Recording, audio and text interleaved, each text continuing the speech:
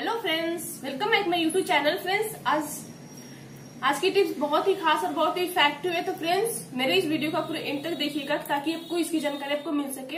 अगर आप चाहते हो कि आपका भी बाल एकदम से लंबा हो, घना हो और एकदम सिल्की हो तो फ्रेंड्स इस रेमेडी का प्रयोग ज़रूर करिएगा। तो फ्रेंड्स आपको लेना है ऑयल जैस्मिन का ऑयल तो यहाँ पे हमने जैस्मिन का ऑयल लिया फ्रेंड तो फ्रेंड्स आपको तो पता ही होगा कि कोकोनट ये जैस्मिन कोकोनट ऑयल में विटामिन ई e की भरपूर मात्रा पाई जाती है।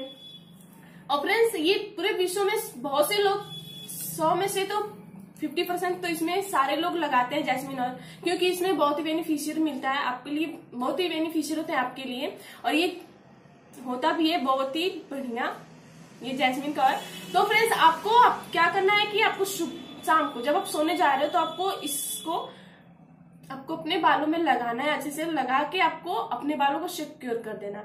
नहीं नहीं सिक्योर नहीं करना है सॉरी तो फ्रेंड्स आपको इसको लगा के आपको ऐसे खुले बाल आपको सो जाना है। तो फ्रेंड्स आपको मैं बताती हूँ कि सुबह में आपको रात में तो ये आप लगाए हो।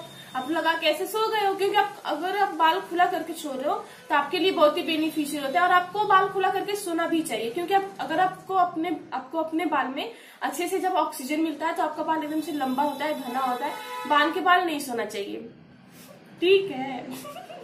अब आपको मैं बता रही हूँ कि सुबह में आपको कौन सा क्या आपको यूज़ करना है आपके अपने बालों में? क्योंकि आपका बाल एकदम से लंबा हो, घना हो। तो आइए जानते हैं इस टिप्स के बारे में।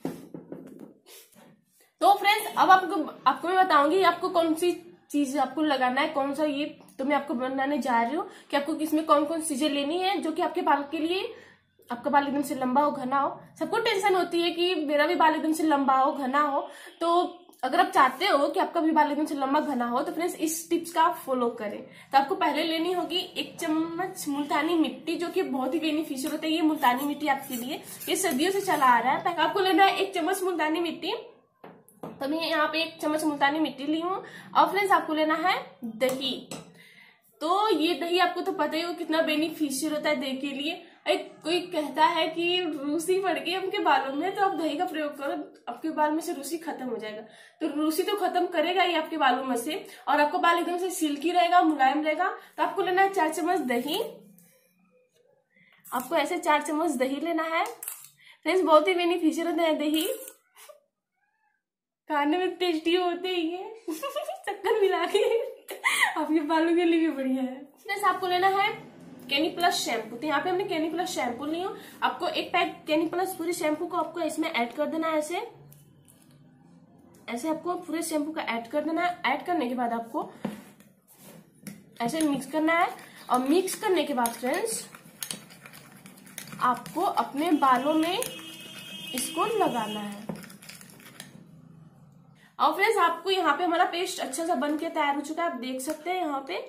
और आपको अपने बालों में पूरा आप रात में आप ऑयल लगा के सो गए हो, आपको धुलना नहीं है, आपको इसी रेमेडी को आपको लगा के आपको पाँच मिनट के लिए ऐसे ड्राई होने के लिए छोड़ देना होगा। और जब ये ड्राई हो जाए तो आपको धुलना होगा और आपको शैम्पू नहीं लगाना है। क्योंकि इसमें शैम्पू मैंने यूज़ की हूँ ऐड की हूँ तो आपको शैम्पू का इस्तेमाल नहीं करना है। और फ्रेंड्स इसको लगा के आपको पाँच मिनट के लिए ऐसे ड्राई होने के लिए छोड़ देना होगा। और जब ये ड्राई हो जाए तो आपको नॉर्मल से धुल लेना होगा।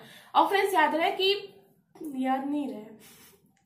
आपको वन वीक में आपको दो से दो से तीन बार ही आपको यूज़ करना है फ्रेंड्स इस फेस इस रेमेडी को फ्रेंड्स इसके प्रयोग से आपका बाल एकदम से लंबे होंगे, घने होंगे, एकदम से सिल्की रहेगा और डैंड्रफ से भी आपको छुटकारा मिलेगा फ्रेंड्स इस रेमेडी के प्रयोग से। तो फ्रेंड्स अगर मेरी वीडियो पसंद है तो प्लीज़ एक लाख लाइक कर देना और मेरे चैनल को सब्सक्राइब नहीं किए हैं तो प्लीज़ मेरे चैनल को सब्सक्राइब कर लीजिएगा।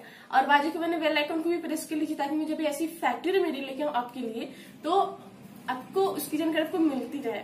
तो आगे मिलती हूँ अगली वीडियो में एक नई जानकारी के साथ। तब तक के लिए टेक केयर बाय बाय